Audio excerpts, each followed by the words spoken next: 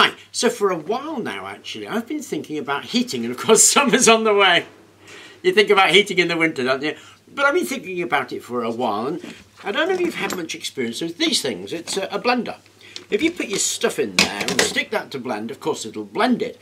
But if you blend it for a while, say five minutes or so, it'll actually also cook it. It gets really, really hot. Now this is a high shear blender. It's just the, the normal thing you buy in the store and it will impart energy to the liquid and heat the liquid if it's moving rapidly enough. And it's based very much on Frenette heaters. And so I was thinking about Frenette heaters and made a couple of those a while ago. But this got me thinking.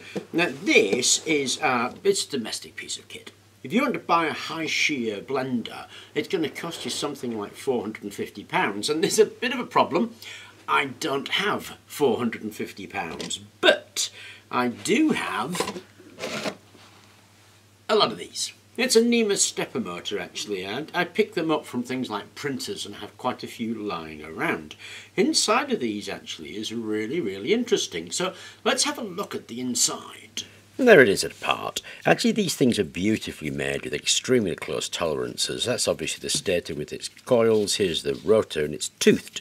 And right there and there you can see two ring neodymium magnets and the end caps.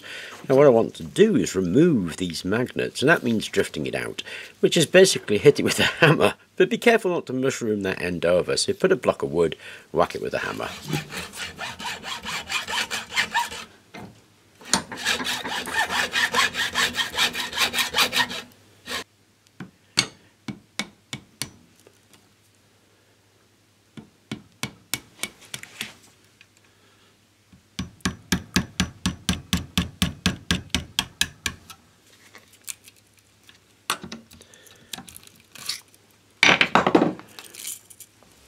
So here's the rotor back together. I just drifted it back on minus its bearings and here is the centerpiece with the coil missing. Now those are incredibly tight tolerances actually which is really cool because that's what we're looking for. So they'll go in there and you can see how tight those tolerances are.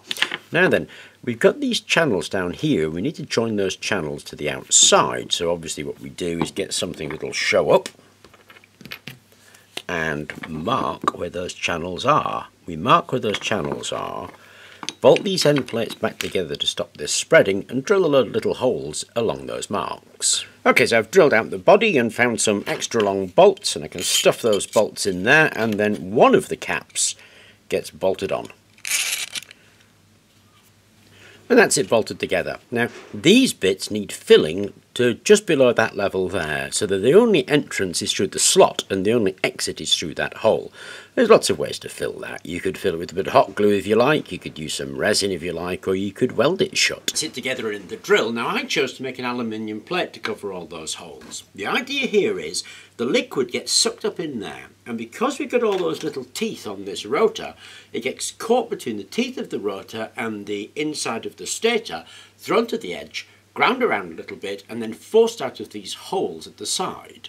Now we should be able to run this at 10,000 RPM. I mean, I'm not going to, I've got it on a drill, do about 700.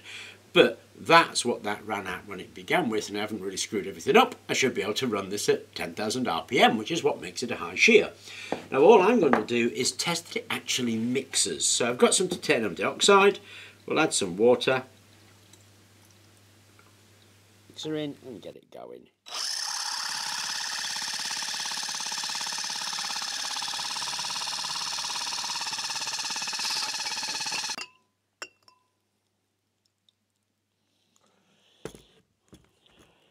okay, that was awesome actually. That did a really good job. It's mixed it really well.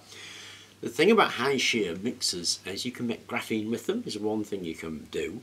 I'm really interested in getting this up to speed so that we can see if it can become a heater. So that's what I'm going to do with it next. But I wanted to test whether we could turn that stepper motor into a high shear mixer. It looks like we can. So there's 450 quid saved. Anyway, I hope you enjoyed the video and thank you very much for watching.